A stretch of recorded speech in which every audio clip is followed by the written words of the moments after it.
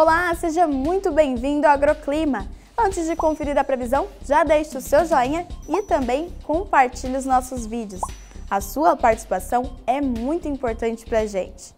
E mais uma vez, perdas foram registradas em lavouras de fumo do Rio Grande do Sul. Isso por conta da queda de granizo. Os municípios de Boqueirão do Leão e Venâncio Ares foram afetados. Regiões que ainda tinham sido impactadas alguns dias atrás pela mesma condição.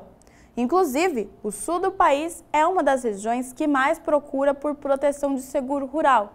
De acordo com a FENACOR, a Federação Nacional dos Corretores de Seguros Privados e de Resseguros, a procura quase triplicou nos últimos cinco anos.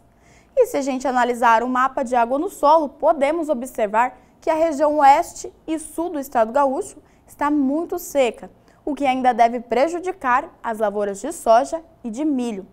E para os próximos dias, o sul ainda deve permanecer seco.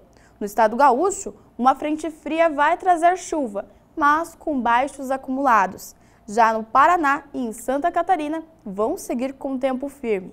No sudeste, a situação é oposta.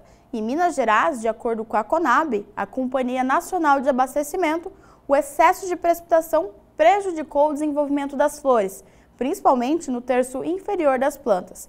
Além disso, a alta umidade associada a temperaturas amenas aumentou a incidência de doenças fúngicas, como o mofo branco.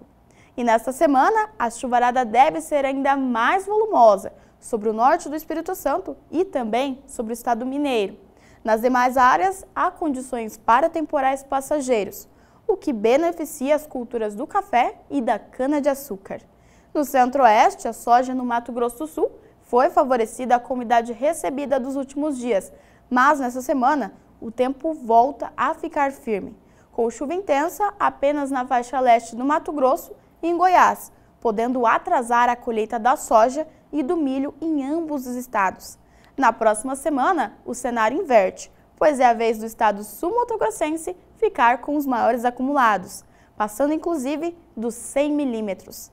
No Nordeste, a ZECIT, Zona de Convergência Intertropical, continua intensificando as chuvas sobre o Mato Piba, ajudando no desenvolvimento da soja na região.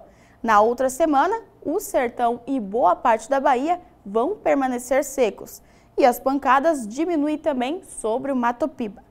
No norte do país, o mesmo sistema atua. O norte do Amapá e do Pará, que vão receber mais temporais com fortes rajadas de vento. Entre os dias 29 e 2 de, de fevereiro, esses temporais perdem força sobre a região. Na maior parte do dia, o sol é quem predomina em todo o céu.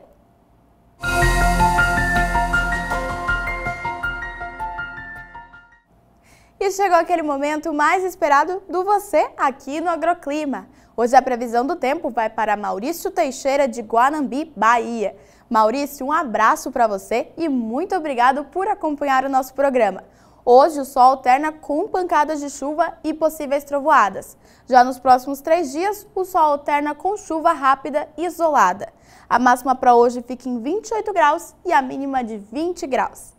E essa outra previsão vai para Clemilda Negreiros, de Bom Jesus, Piauí. Clemilda, também agradeço sua participação aqui com a gente. E olha só, Hoje, nos próximos dois dias, a previsão é de chuvas ao longo do dia, com alguns períodos de melhoria. Já no sábado, o sol aparece e alterna com pancadas de chuva e possíveis trovoadas. A máxima para hoje fica em 32 graus e a mínima de 22 graus. E se você também quer pedir a previsão aqui no Agroclima, é bem fácil. Mande uma mensagem para a nossa equipe através do 67 992 64 7810 ou comente também aqui embaixo com seu nome completo e a sua cidade. A próxima previsão pode ser a sua. Estou te esperando!